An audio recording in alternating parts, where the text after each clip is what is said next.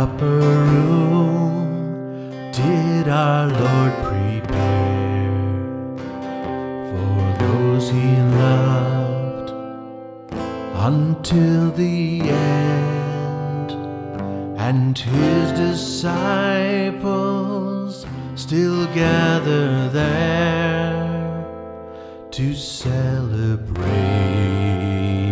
Their risen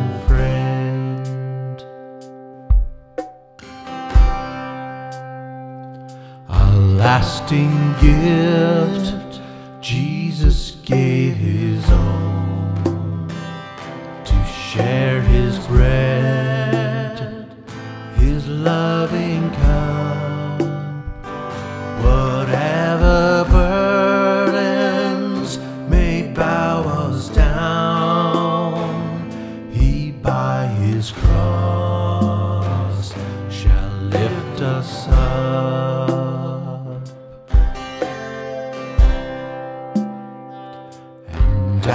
After supper, he washed their feet for service to